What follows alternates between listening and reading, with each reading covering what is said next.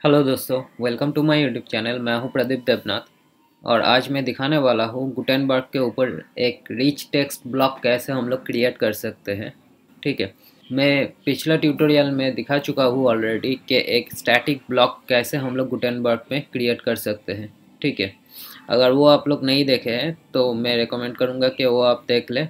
उसके बाद ये वाला देखेंगे तो ज़्यादा आसानी रहेगा समझने में। ठीक है तो यहाँ पे मैं पिछले वीडियो में कैसे, क्या बनाया था, मैं वो दिखा रहा हूँ कि यहाँ पे देखिए ये जो editor hello world from editor ये बेसिकली क्या है, ये बेसिकली एक बेसिक ब्लॉक है, ठीक है?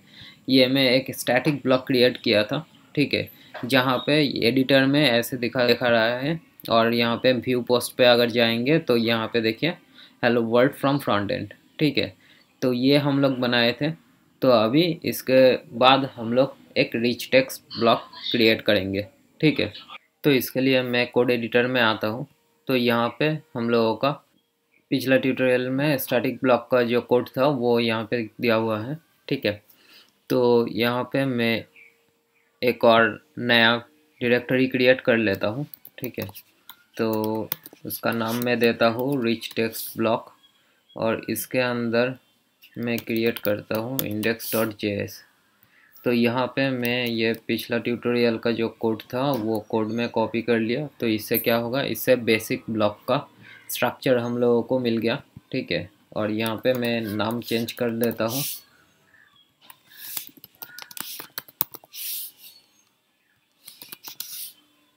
और यहाँ पे आइकॉन के लिए मैं लेता हूँ।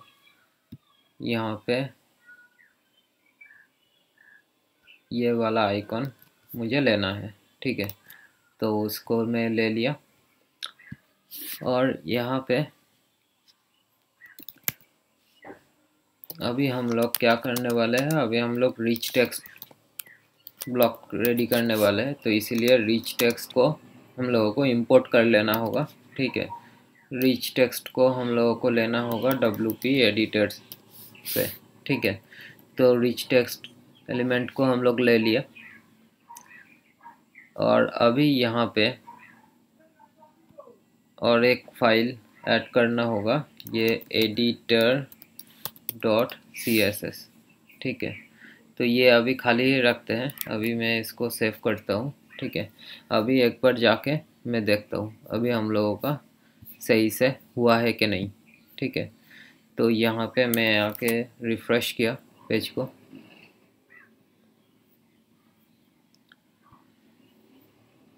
तो यहाँ पे कॉमन सेक्शन में आए।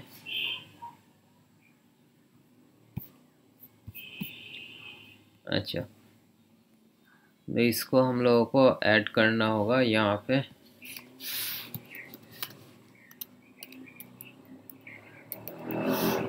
Import block rich text block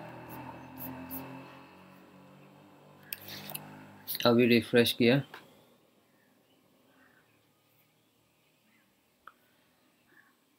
अभी यहाँ पे आते हैं माई रिच टेक्स्ट ब्लॉक ठीक है?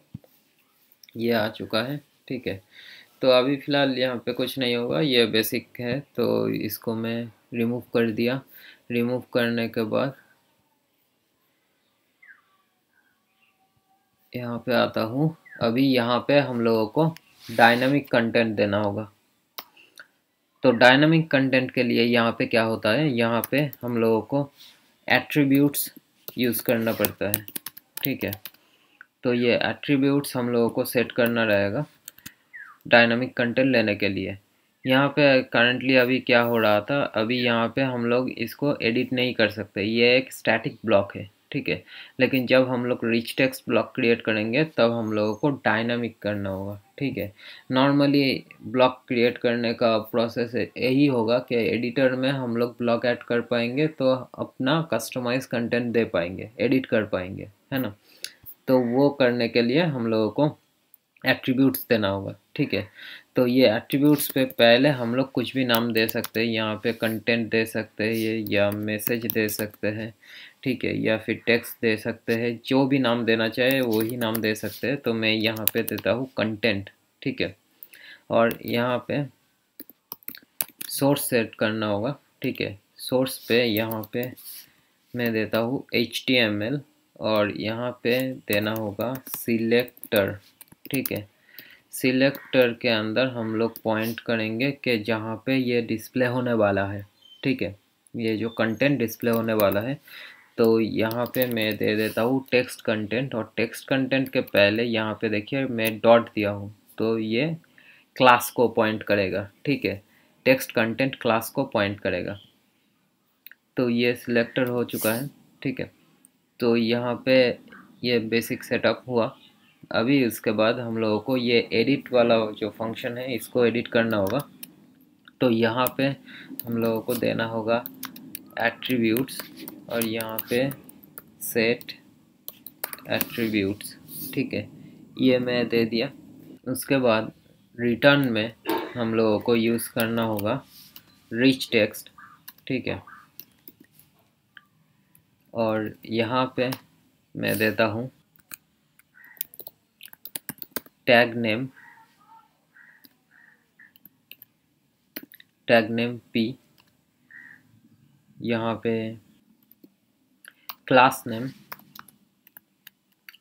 क्लास नेम यहाँ पे देते हैं क्लास नेम ये जो है, ठीक है, और उसके बाद यहाँ पे देते हैं ऑन चेंज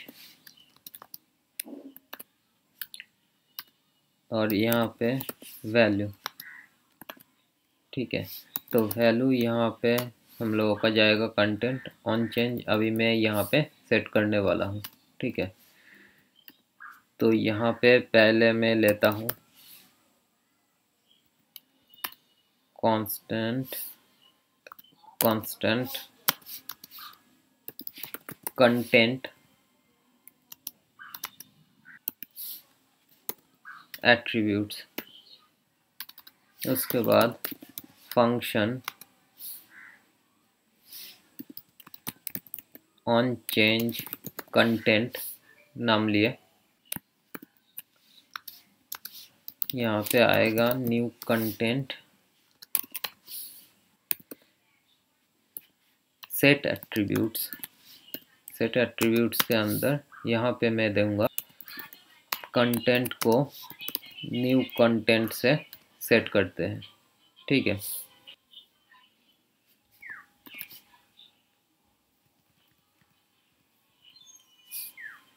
तो ऑन चेंज पे, यहाँ पे मेरा होगा ऑन चेंज कंटेंट फ़ंक्शन ठीक है। तो ये हम लोगों का एडिट फ़ंक्शन हो चुका है, ठीक है। यहाँ पे कंप्लीट हुआ। तो अभी हम लोगों को सेव के अंदर काम करना होगा, ठीक है? तो सेव फ़ंक्शन के अंदर यहाँ पे मैं ले लेता हूँ एट्रीब्यूट्स क्लास नेम ठीक है? ये ले लिया और यहाँ पे रिटर्न होगा हम लोगों का रिच टेक्स्ट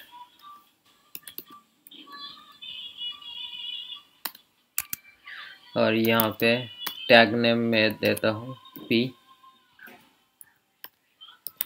वैल्यू यहाँ पे जाएगा कंटेंट तो कंटेंट लेने के लिए यहाँ पे हम लोगों को देना होगा।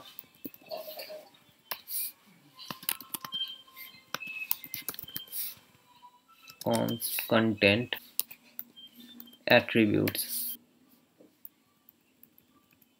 और यहाँ पे क्लास नेम लेना पड़ेगा हम लोगों को। यहाँ पे जो सिलेक्टर हम लोग दिए थे वो सिलेक्टर में जो क्लास नेम था वो क्लास नेम यहाँ पे लेना पड़ेगा ठीक है? तो यहाँ पे क्लास नेम हम लोग टेक्स्ट कंटेंट ले लिया ठीक है? तो अभी मैं इसको एक बार सेव कर लेता हूँ। सेव करने के बाद अभी जाके मैं एक बार चेक करता हूँ ठीक है? तो यहाँ पे मैं आया रिफ़्रेश किया।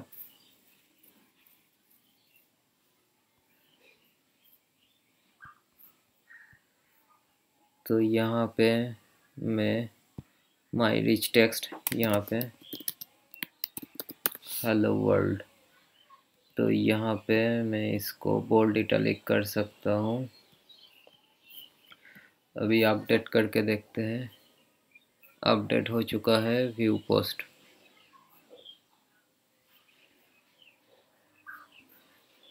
यहाँ पे व्यू पोस्ट पे आए तो यहाँ पे डिस्प्ले नहीं किया।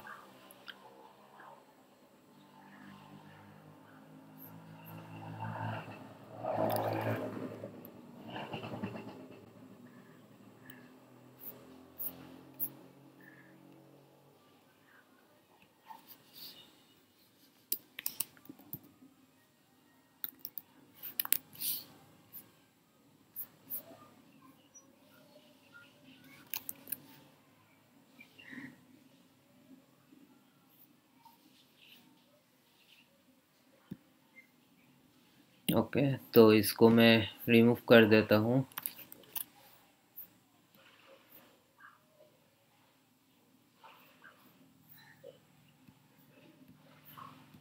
इसको मैं रिमूव किया।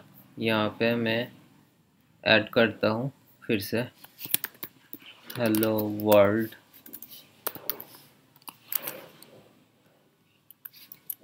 बोल्ड इसको इटालिक किए और पूरा चीज़ को मैं स्ट्राइक थ्रू कर दिया। अपडेट करते हैं। तो व्यू पोस्ट तो यहाँ पे अभी आया है। ठीक है।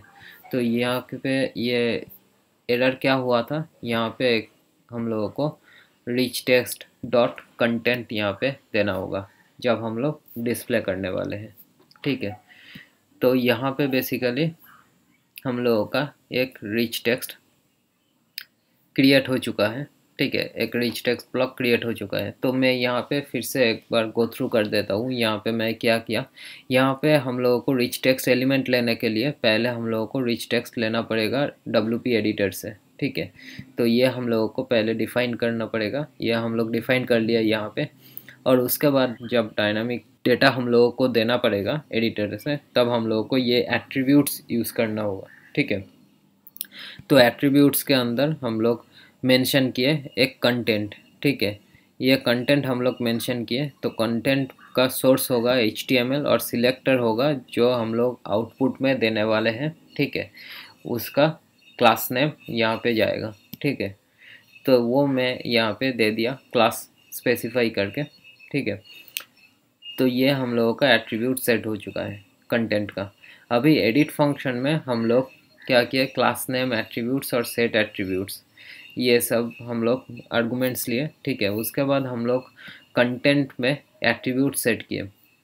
उसके बाद अनचेंज कंटेंट अनचेंज कंटेंट में क्या किया? अनचेंज कंटेंट फ़ंक्शन के अंदर हम लोग आर्गूमेंट लिए और वो आर्गूमेंट को हम लोग सेट एट्रीब्यूट में एट्रीब्यूट हम लोगों का जो कंटेंट हम लोग लिए हैं, उसको हम लोग सेट कर दिए न्यू कंटेंट से। और ये ऑन चेंज हम लोग कॉल कर रहे हैं जब ये एलिमेंट अनचेंज होगा, ठीक है? उस टाइम पे हम लोग ये फ़ंक्शन को कॉल कर रहे हैं। तो इस हिसाब से यहाँ पे कॉल हो रहा है और ये रिच टेक्स्ट का हम लोग टैग क्या रखेंगे? पी रखेंगे।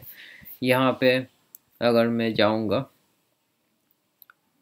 एडिटर में आया एडिटर में आके यहाँ पे देखिए, मैं इसको एक बार इंस्पेक्ट कर रहा हूँ, ठीक है? इंस्पेक्ट पे देखिए, यहाँ पे हम लोगों का पी एलिमेंट है, ठीक है? तो ये पी एलिमेंट के अंदर हम लोग रिच टेक्स्ट का जो भी डेटा रहेगा वो हम लोग ले रहे हैं, ठीक है?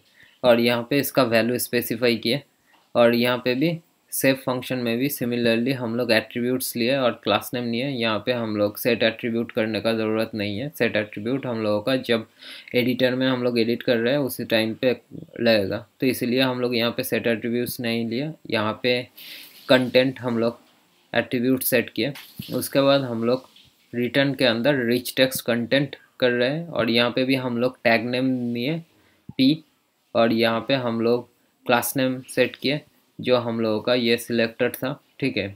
वो देना पड़ेगा और यहाँ पे हम लोगों को वैल्यू सेट करना पड़ा ये एट्रीब्यूट्स ठीक है? तो यहाँ पे इसी हिसाब से आया है, ठीक है? अभी यहाँ पे देखिए व्यू पोस्ट पे भी मैं जाके वहाँ पे भी चेक कर लेता हूँ, ये टैग नेम पी ठीक है? यहाँ पे अगर मैं इसको चेक करता हूँ तो यहाँ पे देखिए, ये भी पी में है। अगर मैं इसको पी नहीं करके मैं इसको पी नहीं करके मैं इसको डिव दे रहा हूँ, और यहाँ पे भी मानिए कि मैं इसको डिव दे रहा हूँ तो अभी मैं एक बार देखता हूँ एडिट पे गए।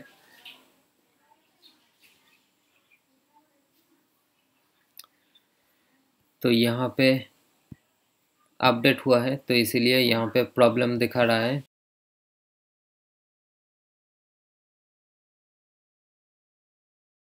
मैं इसको एक रिमूव कर दिया। रिमूव करने के बाद मैं फिर से नया ऐड करूँगा। ठीक है तो यहाँ पे हेलो वर्ल्ड में लिया। ठीक है, और यहाँ पे हम लोगों का जो फंक्शनलिटीज़ है वो तो होगा। तो यहाँ पे देखिए, अभी यहाँ पे क्या है? अभी ये डिव के अंदर है, ठीक है? और अगर मैं इसको इंस्पेक्ट करता हूँ तो नेक्स्ट लाइन देखिए ब्रेक करके आया है, ठीक है? तो मैं इसको अपडेट किया। अपडेट करने के बाद व्यू पोस्ट पे भी मैं जा रहा हूँ। व्यू पोस्ट पे भी यहाँ पे इंस्पेक्ट करेंगे तो यहाँ पे भी देखिए डिफ के अंदर अभी दिखा रहा है, ठीक है? तो इसी हिसाब से हम लोग यहाँ पे टैग नेम सेट किए ठीक है? तो उसी हिसाब से हम लोगों को देना पड़ेगा। तो यहाँ पे मैं फिर से इसको पी कर दिया। तो ये था हम लोगों का रिच टेक्स्ट ब्लॉक क्रिएट करने का एक ट्यूटोरियल ये मेरा इस सीरीज़ का सेकंड वीडियो था। आगे और भी वीडियो आने वाला है, ठीक है? अगर आप ये गुटेनबर्ग डेवलपमेंट प्रोसेस को देखना चाहते हैं सीखना चाहते हैं तो आप इस वीडियो को लाइक कर दीजिए, कमेंट करके बताइए और मेरे चैनल को सब्सक्राइब कर दीजिए। तो आपके साथ फिर से नेक्स्ट ट्यूटोरियल में बात होगा। तो तब तक के लिए गुड बाय। Thank you.